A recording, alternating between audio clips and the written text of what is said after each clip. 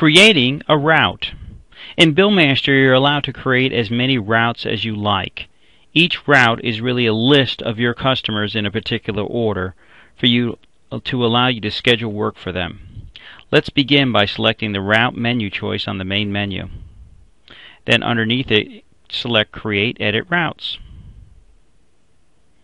Press the button that says Create Route Name.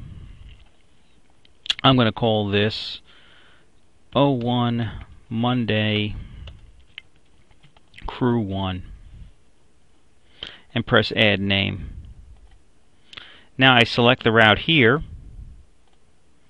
I can sort by city and simply click on the people I want on that route.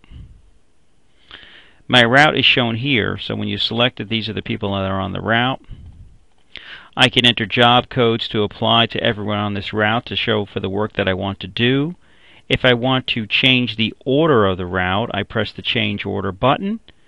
If I want to have Joe come after Able Associates, I just give it a number that's after 10. Then click anywhere on the grid. And notice how it's instantly moved and hit Saved. And now that's in the new order. And then when I print out the route sheets, it'll be in this order. Again, I can also apply codes to the route for any work that I want to do. Thank you for choosing Billmaster.